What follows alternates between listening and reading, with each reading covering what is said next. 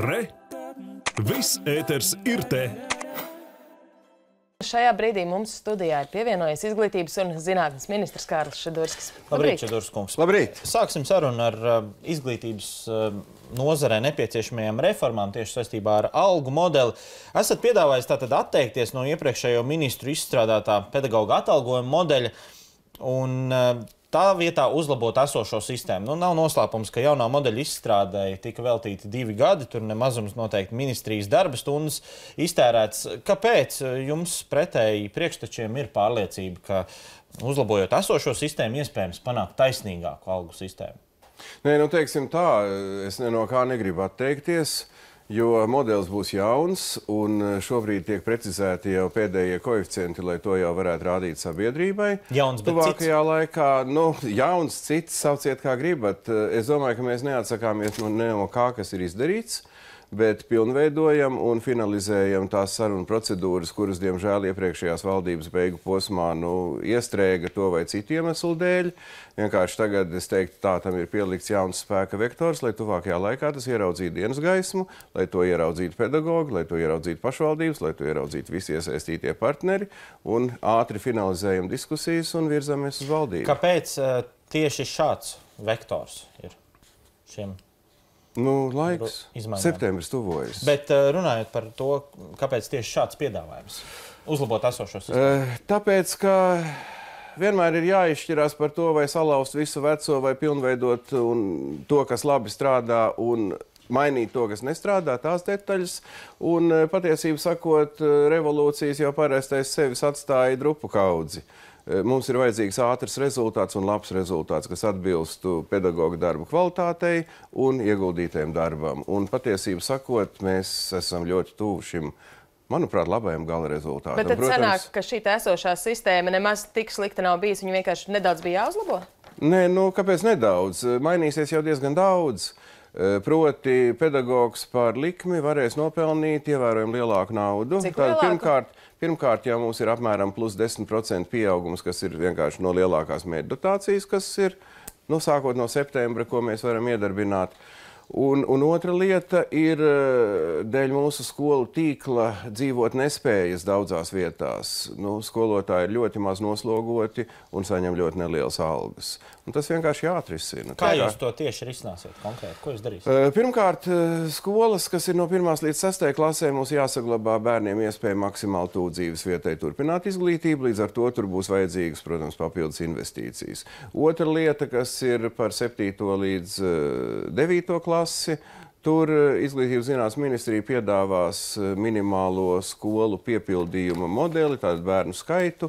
Un, ja skolas atbildīs šim modelim, tādā gadījumā pilnā apmērā iestāsies nu, jaunais pedagoģu palielinātā finansējuma modelis. Ja neatbildīs, Tad eh, dosim pašvaldībai laiku sakārtot šo, lai resursus efektīvi izmantotu. Nu, un attiecībā uz vidusskolas posmu, tur jau mums no 1. septembra stāsies spēkā ministrs kabineta noteikumi, ko pieņēma vēl iepriekšējā valdība, ja nekļūdos, kaut kad oktobra vidū. Un eh, tā tad atbilstoši tam arī, nu, zināmā mērā, optimizēsies skolu tīkls vidusskolā, nu, attiecībā uz desmitās klases Cik, atvēršanu. cik naudas eh, nepieciešams, lai veiktu izmaiņas, par kurām runājat? Tas, kas mums šobrīd ir papildus pilnā gada griezumā, tie būtu 27 miljoni.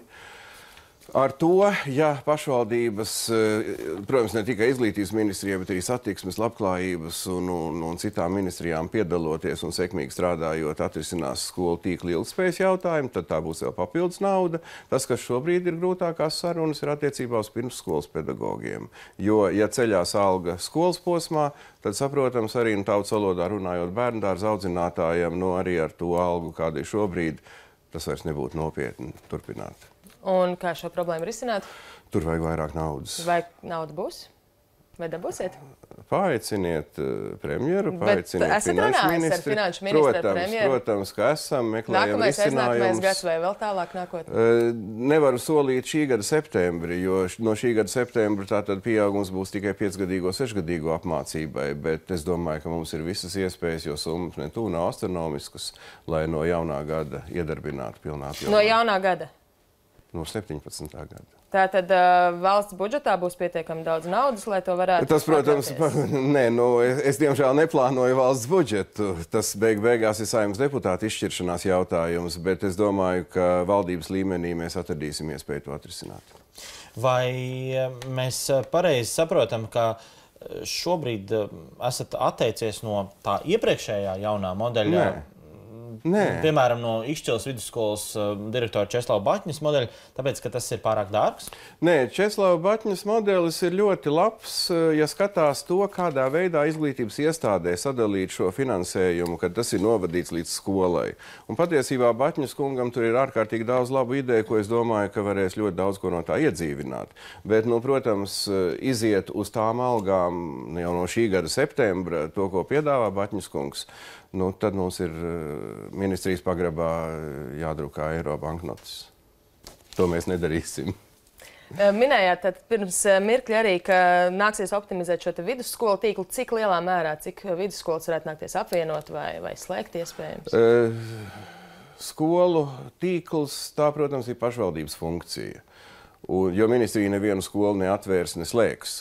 Bet uh, dabīgi, ka tur ir jābūt sadarbībai, tur ir jābūt atrisinātiem tām problēmām, ko pašvaldības vienas pašas bez papildus finansējuma nevar izdarīt. Tātad šis finansējuma jautājums, tā, protams, ir valdības kompetence. Cik, cik eh, skolas pašvaldībām būtu jāslēdz? Eh, Nu, mēs zinām, ka tās skolas, kas netiks atvērtas šī gada septembrī, tas skaits jau ir zināms, un tas sen jau ir, nu, tas ir, teiksim, jau definēts eh, kaut kur eh, gada sākumā.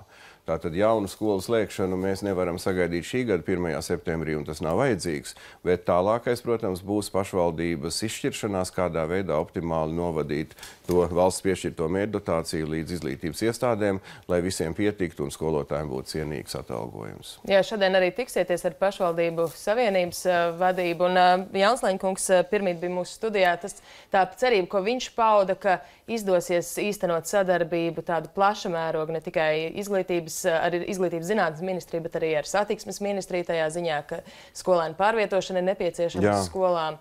Un, Es esmu ļoti skeptisks pret uh, plašu internātu tīklu attīstību pamatskolas posmā. Jo tur, manuprāt, daudz perspektīvāka būtu bērnu vešana no rīta un pēc stundām atpakaļ uz mājām. Līdz ar to tā, protams, ir ceļu problēma, tā ir gan satiksmes autobusu tīkla problēma, gan tā ir nepieciešamība pašvaldībām iepirkt autobusus. Un bez sadarbības ar pašvaldībām un satiksmes ministriju, nu, viena izglītības ministrija to nevar atrisināt. Bet, nu, kā tas ir ierakstīts eh, Kučinska valdības deklarācijā un eh, izglītības tīkla ilgtspējas eh, politikas plānošanas nostādnēs, ko starp citu saima ir pagājušajā gadā pieņēmusi. Nu, tur šie visi jautājumi skatīti. Viņi mums vienkārši jāatrisina. Tā skaitā finansiāli. Eh, Nu, pat eh, notikušajā diskusijā par izglītības nākotni pagājušajā nedēļā šķiet, tika pieminēts Igaunijas piemērs. Tur izskanēja, ka tur pamatīgi optimizējot skolu tīklu, tātad nākotnē eh, Igaunija vēlas vien, atstāt viens simts vidusskolas, skolotāja algas jau tagad ir virs 1000 eiro, izglītības kvalitāte pieaugusi, par ko liecina mm, skolu beidzēju un eksāmenu licēja rezultāti, un arī mm, valsts veido savas gimnāzijas, lai tādējādi konkurētu ar pašvaldību vidusskolām. Vai jūs esat iepazinies ar Igaunijas piemēru un kaut ko grasāties no tā pārņemt? Nu, būtībā jau Igauni iet to pašu ceļu, ko arī mēs plānojam iet. Protams, nerunājot par skolu skaitu, jo mums acīm redzot, vienkārši šis skolu skaits būs lielāks, tāpēc ka latvieši ir nedaudz vairāk nekā Igauni. Bet uh, ceļš ir pareizs un tas ceļš ir ejams. Uh, teiksim tā, nu, mums visas izglītības iestādes vispārējā izglītībā ir pašvaldības iestādes. Tā tad vienalga, vai tā ir pašvaldības gimnāzija vai tā ir valsts gimnāzija. Nu, valsts gimnāzijas vienkārši saņem papildus finansējumu. Uh, jā, arī mūsu mērķis ir šie tūkstots un vairāk nekā tūkstots eiro par likmi. To mēs nesasniegsim vienā gadā, bet eh, es ceru, ka trijos gados varam sasniegt. Cik nākamā gada saņems skolotājs 1. septembrī, nākamā mācību gadā? Piedodiet šo skaitlīti, es pa priekšu teikšu mūsu sadarbības partneriem, tad, kad mums būs formula līdz galam noslīpēta. Vēl kādu nedēļu vai divas jāpagaida. Bet varbūt Bet... procentuālo pieaugumu varat pateikt. Nu, tā tad minimums desmit. Plusā. Bet tas nav tas, skolotāji skolotāja algas sagaida. 1. septembrī pieaugs par 10%. Jā, bet, eh, nu, protams, ka skolotāji sagaida lielāku pieaugumu, un to viņi arī sagaidīs. Nu, ne uzreiz šajā gadā.